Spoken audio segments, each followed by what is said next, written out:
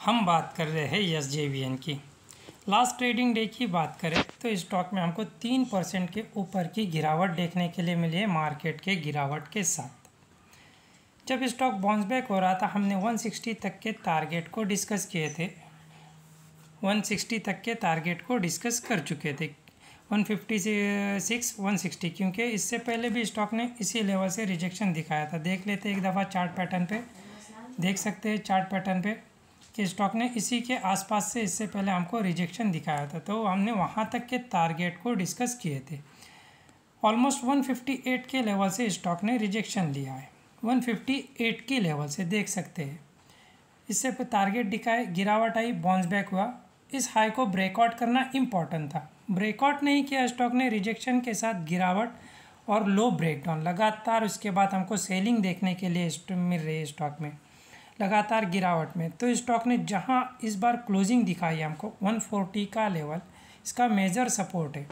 इससे पहले भी इसी सपोर्ट से स्टॉक में हमको लगातार तेज़ी देखने के लिए मिली थी। देख सकते हैं जब गिरावट और 140 के लेवल से स्टॉक में लगातार बाइंग देखने के लिए मिली थी तो ये तगड़ा सपोर्ट रहेगा 140 का लेवल। ब्रेकडाउन कर जाता है तो आखिरी सपोर्ट है जो लो है 135 का लेवल। ये सबसे आखिरी सपोर्ट रहेगा। अगर इस लेवल को ब्रेक डाउन कर जाता है तो वैसे कंडीशन में फिर 120 तक का भी फॉल एसजेवीएन दिखा सकता है। अब हमको थोड़ा सा इसके मोमेंटम पे रन नज़र रख कर चलना है, क्योंकि स्टॉक लगातार गिरावट में है। तो हो सकता है 135 तक की गिरावट दिखाए।